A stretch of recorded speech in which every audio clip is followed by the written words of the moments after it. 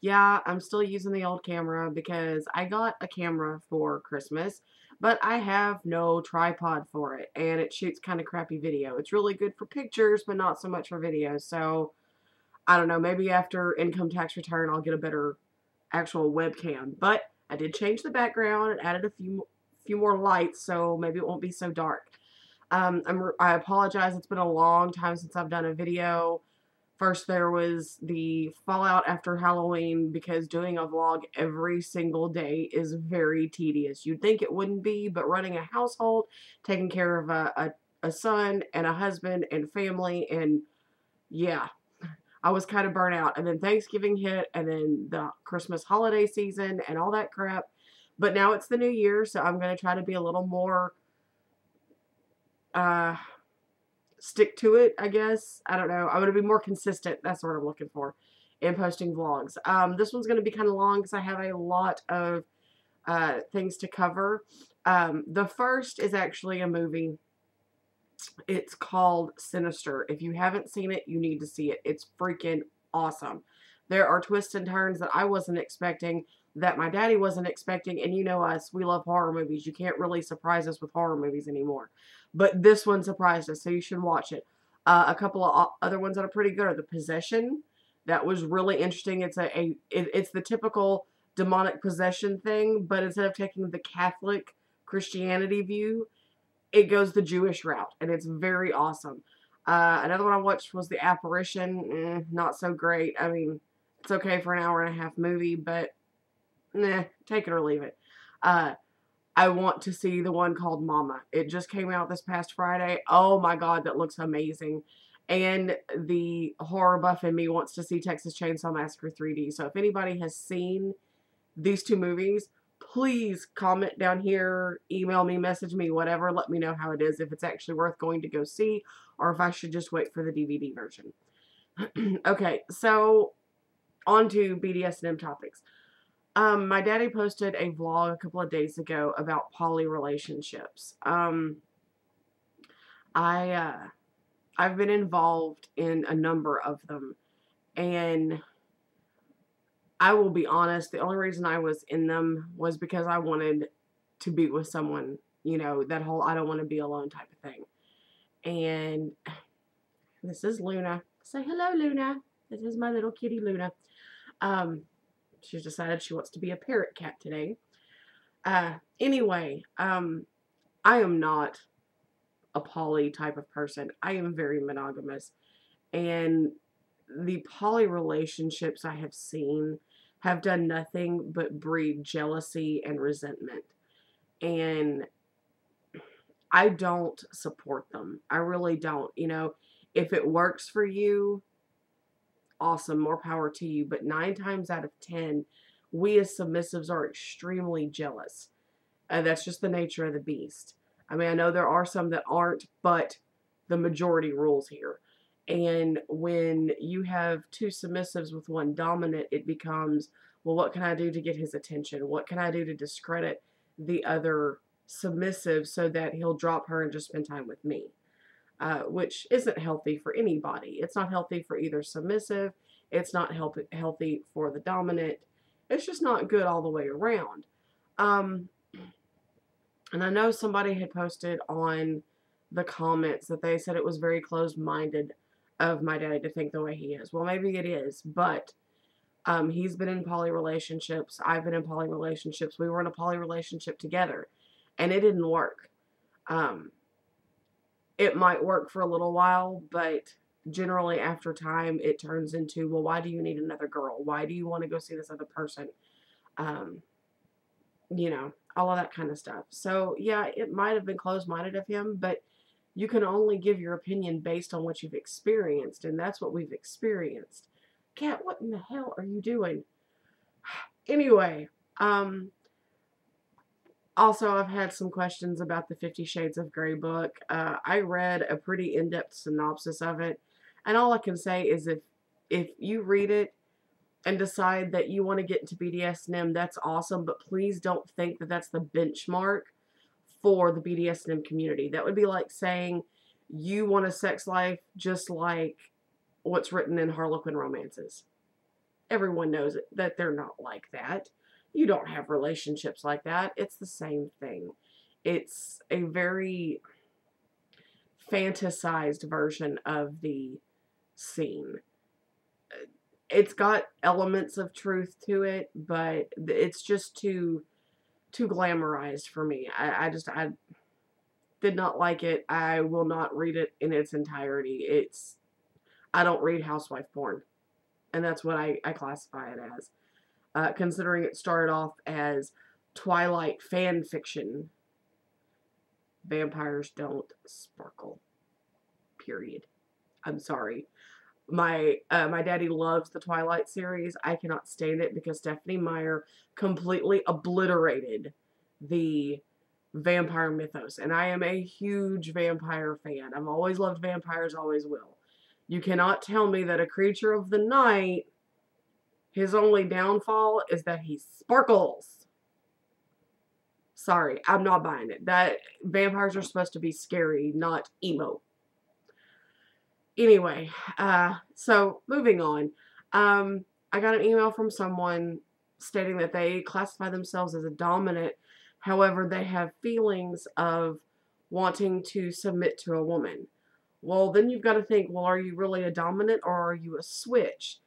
Because dominants generally do not enjoy being submissive in any way, shape, or form. But this person goes on to say that it's, from what I can tell, that it's purely a sexual type of fantasy. And that's cool. But if you're going to have a submissive because you are a dominant, but you still want to fool around with someone so that she can dominate you, but you have problems with power, power exchange, I think you really need to rethink your position in the whole thing because you can't you can't be a dominant and want to be used by someone but not be a submissive it's like wanting to have your cake and eat it too. You know, you really need to to think about what your position is. And if you decide that, yeah, you are a switch, awesome. Make sure you communicate that with your submissive, though. Uh, because, like, my, my daddy is a switch. However, he and I have talked about it, and I cannot, nor will I ever be able to watch him submit to someone. Because that's just, eh, in, in my eyes, he's my dominant. He's my master. He's my alpha. He's my daddy and to see him submit to someone else, I already know that that would make me jealous as all hell. I I won't make any bones about it. I can't handle that. Now we have toyed around with the idea of me switching because there is a little, like this big between my fingernails, part of me that could switch, but I don't know if I could do it on a regular basis. Uh, it's just too weird for me. I, I just can't. I've been a submissive for so long. So anyway, then I had someone ask me about professional dominatrixes. Dominatrices? I don't know. I don't know what the... A, a professional dominatrix. There we go. Um, I'm sorry, I don't know a whole lot about them. I've seen a couple of documentaries, but, you know, nothing in-depth. I know they're out there. Um, I really can't give you any suggestions on local ladies because I am so not local to where you are um, the best bet would be to try Google or try to talk to someone in your local community to see if they know someone. Um, as far as I can tell, they're pretty legit and they will do whatever you pay them to do, but it's not, I don't know. If you're just looking to get your jollies off for every once in a while, that's fine. But if you're looking for a long-lasting relationship, I would steer clear of someone you have to pay to do it because while you may be emotionally invested, if one day they decide they're getting out of the business, you're screwed. You know? That's just my personal opinion. Um, also had another viewer uh, write to me and ask me if it was okay for her to be in a relationship because she's only, uh, be in a DS relationship because she's only newly turned 18. Um, I really don't think they're, once you become an adult at 18, I don't really think there's an age limit, so to speak that you can start getting involved in the DNS stuff type stuff. Do I think you should jump in feet head first into a full-fledged DNS relationship with one person and never experience anything else? Absolutely not. Um, just like in the vanilla world, I think you need to date around. I think you need to find what makes you happy, what doesn't make you happy. Um, you know, if you find that certain someone that you want to submit to, rock on. That's awesome. But don't think that just because you're 18 and some guy says, oh, you're going to be my submissive, that you have to be. We're not doormats. I don't care if you're 18 or 80. Submissives are never doormats. And any master that tells you you have no say because you're submissive, you stand up, tell them they are full of shit, and walk away. Because we are allowed to have a voice. We are allowed to have an opinion. Now, you can be respectful about it, but if it comes down to you're going to do this or, you know, I'm going to punish you even though it's goes against your hard limits or it's something you're not comfortable with, screw that. Stand up for yourself. Don't be a fucking doormat. I hate that and I'm sorry I'm cussing a lot, but nothing ticks me off more than submissives who are doormats. I'm like, seriously, you don't have to just lay down and take whatever some guy's going to give you because you think you're not going to get anybody else. Screw that. I've been there. You can move on. You've seen my daddy. We're perfectly happy. But I went through a period where I was with someone just because I was miserable and I didn't want to be alone. I didn't think I would ever do any better. So screw that. Stand up for yourself.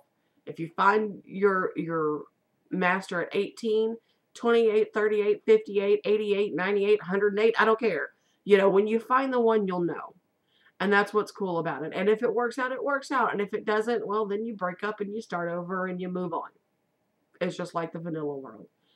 Um, someone also asked me on where they could start to find a Dom. Um, the best place to look, honestly, is in your local community. Uh, even in my little podunk town where I live, there is a community nearby that, that they are nice enough people, but their you know their age range is a little on the upper end from mine. So it, that was a little hard to get in touch with people, but you can try on FetLife and look for people that are in your area. Um, use Google. You know, there are, you know, there's Collar Me and OK Cupid, I think is one. Um, just be careful because, you know, there's pervs and morons everywhere. So uh, I was asked to define what a sub, a dom, and a mistress is. Okay, a submissive. Um, how do I put this in the words? Um, a submissive is someone who is willing to give up the reins of control in their life, be it every aspect of their life, the bedroom aspect of their life, or bits and pieces here and there, um, where they either don't have to make any decisions for themselves or they make limited decisions for themselves or you know they there's just a few decisions that aren't made for them. Like in my case I make all my own decisions. Granted I run them past my daddy first but I'm still pretty much in control of that aspect of my life. Essentially he is in control of my life in the bedroom to an extent and I still show him respect in public and I do things for him and like he goes to work I take care of the house. Those are our jobs. You know, for all intents and purposes, you could classify me as a domestic. Um, you know, with fringe benefits of getting to, to sleep with the head of the household, which is always awesome. Anyway, uh, so a submissive is someone who is willing to give up control. Um, be it 24-7, only in the bedroom, only during playtime. It differs from person to person. Uh, a dominant. Uh, Okay, that can either be a dom, a dominant as in a male, or a dame as in a female, uh, which is uh, which is the person that takes control of the situation, the person, the place, whatever. Um, they are to take care of their submissive, uh, be it either you know, it just, just depends on the situation. You know, if you're living together, okay, is the dominant in control of paying the bills and leaving a list of chores for the submissive to do, or is it just in the bedroom type of thing? You know, pull the hair, smack the butt, tell them what to do, throw them around, manhandle them, whatever. It really just depends. and, and, you know, it's either he the do dominant or she the dominant. It can go either way. Uh, mistress. The problem with mistress is that there are multiple meanings to mistress. There is mistress as in like master and mistress, as in they are the dominant. And that's fine. But there's also mistress as in um, the other woman who is having an affair with a married man. So I really don't know what mistress you mean. I'm assuming you mean a female dominant, which can be a dame or a mistress. Most of them go by mistress because dame is kind of a, a uh, old school term uh, and old not old school old guard term, which is how I was taught. So, but that's that. Um, I had somebody ask me about setting boundaries.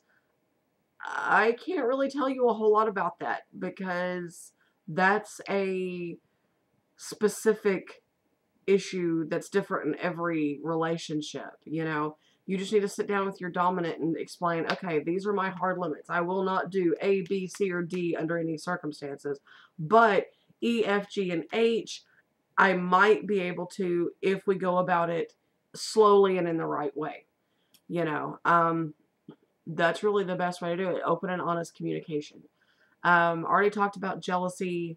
It happens. Submissives, most of the time, are generally jealous people, be it male or female. I've seen it on both sides. Um, unfortunately, there's not a whole lot you can do about it uh, as long as the dominant is supportive and reassuring, um, and that'll help.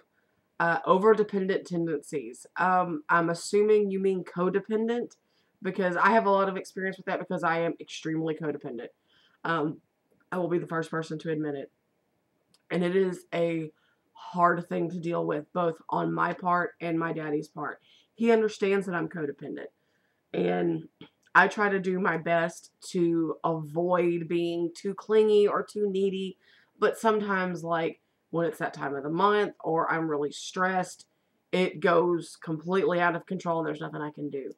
Um, it's hard to deal with codependent tendencies, um, especially, again, if you're going to be in a poly situation. If you're with someone who's codependent, that will make it explode because that just triggers neuroses, which makes people freak out and makes everybody jealous and upset. And it's such a pain in the butt. Um, and then I was asked about age play. Again, I don't have a lot of experience with age play because while I do consider myself a baby girl or a middle, if I have to put an age on it, um, I really don't get into the whole age play because that crosses a taboo line that I am not comfortable with. You know, um, yeah, I do act 16, 17 from time to time, but that's about where it stops. You know, I, I don't I don't do the whole diaper, pacifier, sippy cup, baby bed, baby clothes type of thing. If you do, awesome. Um, but I don't have a lot of experience with it, and I won't ever have any experience with it because that's a hard limit for me. I absolutely will not. So I'm sorry I can't give you a whole lot of information on it. But, so, okay, I have rambled for 18 minutes, so I think I'm about done. Uh, don't forget to rate, comment, subscribe down here.